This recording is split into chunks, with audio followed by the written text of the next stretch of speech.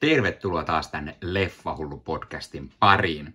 Tällä kertaa arvostelussa DCn uusin supersankarileffa, eli Blue Beetle. En ollut varma, aionko mennä tämän teatterin katsomaan. DCn leffat on viime aikoina ollut vähän hit and miss kamaa.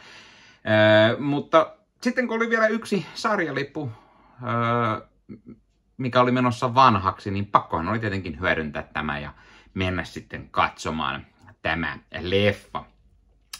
Kuten sanoin, niin edelliset DC-leffat ei ole järin hyviä välttämättä ollut, eikä ne ole teattereina, teattereissa, teattereissa välttämättä hirveän hyvin menestynyt, jonka seurauksena tätä leffaa ei yllättäen nähdäkään isoimmassa salissa, eikä edes siinä toisissa isoimmassa salissa. No joo, Barbie ja Oppenheimer siellä, eli Barbenheimer hallitsee edelleen niitä isompia saleja, joten jännä vähän mennä pienempään salin tätä katsomaan. ja tosiaan ne on ollut viime aikoina vähän hitten miskamaa, niin en mitään hirveän paljon tältä odottanut.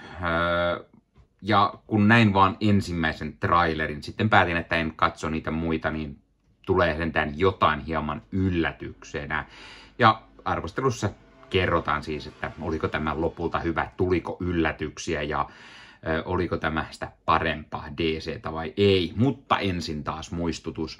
Jos sinä haluat ostaa Leffahullu tuotteita, Leffahullu merchia, niin menet Spreadshirtin verkkokauppaan osoite tulee tohon, koska en sitä kuitenkaan muista ulkoa.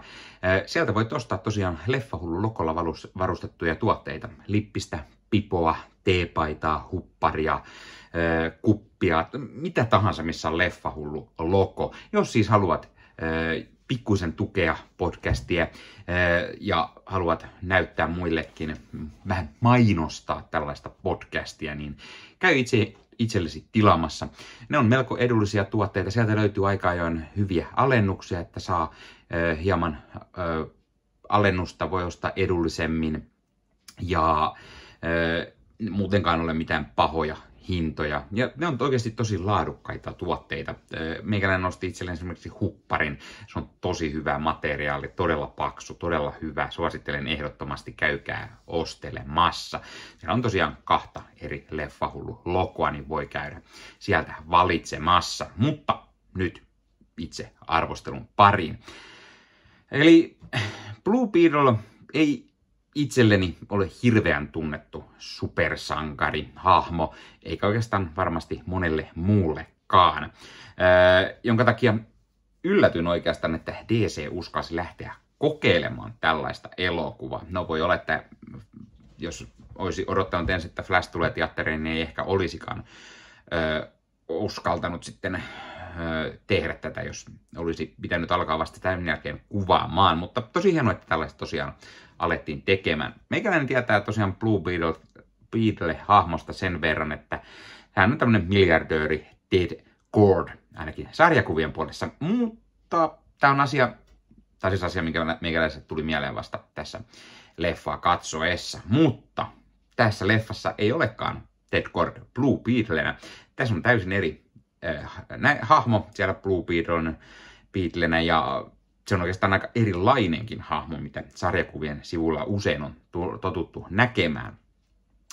Tämä leffa kertoo siis eh, Jaime Reyes nimisestä pojasta, eh, jonka perhe on menettämässä kodin ja, ja työpaikkaa lähtenyt alta ja, ja niin poispäin. Ja, Jaime sitten päättää, että hän ei menekään kouluun, vaan menee siskonsa avustamana tällaisen siivoushommin ja yrittää saada rahaa vähän perheelle tehdä talonsa sitten mene alata. Sattumalta Haime saa käsinsä tällaisen mystisen skarabin, joka muuttaa hänet sitten Blue Beetleksi. Tämä puku on tämmöinen eräänlainen symbioottinen tekoäly, android, avaruuspuku, Eli oikein vaikeasti sanottu avaruudesta tullut tämmöinen mystinen juttu, mikä hän laittaa hänelle, tulee sitten puku päälle ja sillä on tekoälyä ja ää, näin. Ää, ja tällä siis tosiaan ää, Haime joutuu taistelemaan pitääkseen perheensä turvassa ja ää, ettei pahikset pysty tekemään ää, tuhansia vastaavia ö, taistelupukuja. Ö, leffa muistuttaa todella paljon DCin Sasam-leffoja, sillä tämä on myös vähän semmoinen kevyempi leffa, humoristisempi leffa. Päähahmo on nuori, aikuinen, ei ihan niin nuori kuin Sasamissa, mutta tosiaan nuori ja aloitteleva sankari hommissa. Leffa keskittyy todella paljon perheeseen, perhedynamiikkaa. Muistuttaa myös Spider-Mania tarinallisesti suku on läsnä paljon ja, ja, tai perhe ja, ja niitä teemoja on ja niitä supersankariteemoja todella samantyylisiä. Tämä on myös siitä erilainen supersankarileffa, että melkein kaikki hahmot on latinalaisesta Amerikasta ja myös tietenkin heidän näyttelijänsä, mutta myös tosi iso osa leffan niin taustajoukoista, ohjaaja, käsikirjoittaja. Siis oikeasti tässä leffassa ei varmaan ole hirveästi muita perus niin kuin amerikkalaisia jenkkinäyttelijöitä kuin Susan Sarandon. Ja tämä on oikeasti hieno asia. Ja se on vähän säällisenä että kun Jenkeissä on näyttelijöiden lakkoa ja käsikirjoittajan lakkoa, niin näyttelijät ei pääse promomaan tätä leffaa tarpeeksi, jonka takia että yksi syy, miksi tämä jää myös todella pienelle huomiolle, ja siksi, että DC-leffat on ollut viime aikoina hieman heikompia, niin se on myös yksi syy, miksi näin saattaa valitettavasti olla. Leffassa on myös varsin toimivaa CGI-tä. Ja nyt äkkiseltään ei edes tule yhtään mieleen, mikä olisi häirinnyt silmää. Voi olla taas kerran, että netistä näen sitten jotain, mitä en silloin juuri nähnyt ehkä leffan huumassa. Mutta ainakaan mikään ei hirveän pahasti häirinnyt. Ja, ja tämä supersankari puku Bluebeardille, sille on tehty tosi tyylikkäästi. Ja nämä taistelut on tosi tyylikkäitä ja, ja tämä puku on todella oivaltava. Se on, se on, niin kuin, se on erinäköisiä kaikki, mihin se puku pystyy muuntautumaan ja ne on hienosti tehty. Myös hahmot on varsin toimivia ja tässä leffassa nähdään näyttelijöinä muun muassa Xolo Mariduena, anteeksi jos lausun huonosti näitä, joka näyttelee siis päähahmo Haimeeta.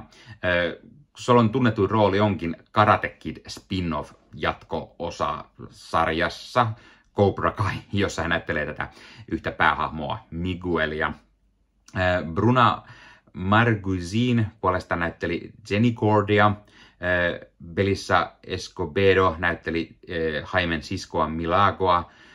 Damien Alcazar näyttelee Haimen isä Albertoa ehkä koko leffan parasta hahmoa Rudia näyttelee George Lopez. Tähän tuo todella paljon huumoria tähän leffaan lisää ja on se koominen sivuhahmo, mutta toimii varsin, toimiva, to, tois, toimii varsin hyvin tässä leffassa. Öö, leffan pahisrooleissa nähdään Susan Sarandon, joka näyttelee Victoria Cordia, sekä Raul Max Trujillo, joka näyttelee Karapaksia, joka on siis se öö, paha kopio vastus niin sanotusti Bluebeardille. Eli hän on tällaiset mekaniset vahvistukset ja, ja sitä kautta hänen pukunsa on sitten vähän Bluebeardleä muistuttavat voimat. Ja lopputaistelu on semmoinen hyvin tyypillinen ö, kaksi samat voimat tai lähes samat voimat omaavaa ö, hahmoa taistelee keskenään ja kumpi sitten voittaakaan. Näitä on nähty ehkä hieman liian usein, mutta no, se on se toimiva ratkaisu aina. Elokuvan on ohjannut Angel Manuel Soto ja kirjoittanut Karet Dunet Al- Alcocer. Kumpikaan ei hirveästi ole mitään isoa tehnyt ennen tätä, joten tämä on heidän uransa isoin projekti. Leffa on varsin toimiva supersankarileffa. Ei ehkä mitenkään hirveän erikoinen, ja sanot, että siellä ihan hiukan ehkä liikaa kädenlämpöiseksi. Öö, olen vähän tyypillinen siinä mielessä DC-leffa. Joskin tämä voittaa viimeaikaisista DC-leffoista Black Adamin ja, ja Sasam Fury of Gods leffan, mutta ei mielestäni pärjää esimerkiksi The Flashille, joten arvosanaksi antaisin tälle varmaan semmoiset seitsemän kautta 10. Öö, joo, 7 kautta 10. Se on varmaan ihan hyvä arvosana. Eli ihan hyvä leffa. Voi olla, että katson sen uudelleen jossain kohtaa, ehkä kun tulee HBO Maxille ja näin, ja katson, että onko tämä sitten toisella kertaa paremmin toimiva itselle, mutta ei tämä jotenkin oikein niin kuin loppuun asti toimi. Tässä on paljon sitä huumoria, mutta osittain se huumori on vähän semmoista väkisin väännetty, eikä ne oikein, niin kuin, ne oli enemmänkin sellaisia, no joo, muutamat tosi hyviä juttuja, mutta ei oikein.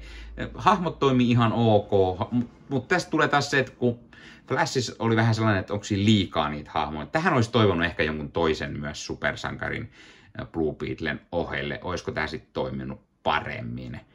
Mutta sitten taas tämmötti yksinäisenä soolohahmona, että tämä oli siinä mielessä parempi, koska The Flashissa niitä hahmoja on ehkä liikaa, samoin kuin sitä edeltäneessä Black Adamissa oli aivan liikaa niitä no okei, okay, Sasan 2 tuli ehkä siinä välissä, mutta kuitenkin siinäkin on vähän liikaa niitä hahmoja, ja ne on aina hieman ongelma, jos niitä hahmoja on liikaa. Tässä keskitytään yhteen, mutta se taas olisi ehkä kuitenkin vähän liian vähän. Et toinen vielä, niin se olisi saattanut olla dynaamisempi ja mielenkiintoisempi siinä mielessä.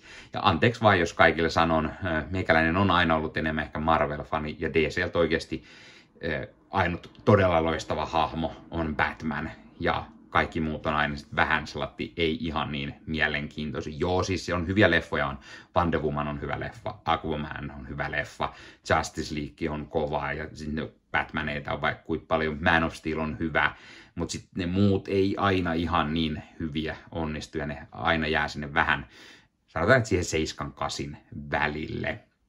Mutta siis ihan ok leffa.